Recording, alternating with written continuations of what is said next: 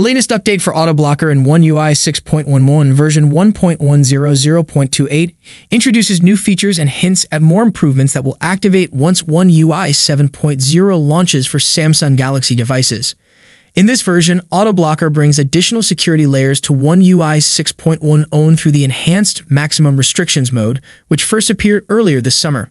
The update adds security measures that can prevent device admin apps and work profiles from performing certain actions while maximum restrictions mode is enabled.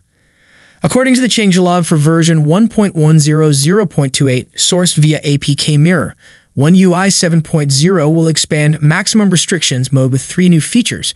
1 blocking USB connections. 2. Blocking 2G networks. 3. Blocking automatic reconnections to non-secure Wi-Fi networks. Interestingly, the USB blocking feature is already available, suggesting either a potential error in Samsung's documentation or that this feature may receive additional options in One UI 7.0.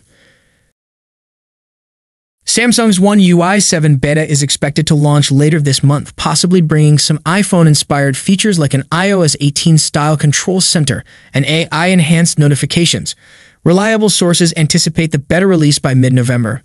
The latest One UI 7 build is said to introduce numerous updates compared to previous versions.